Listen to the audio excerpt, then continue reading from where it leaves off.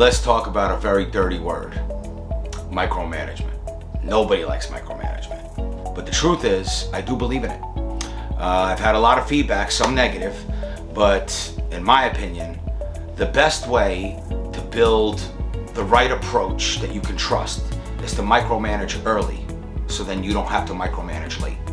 You know, it's much more difficult to come in and say,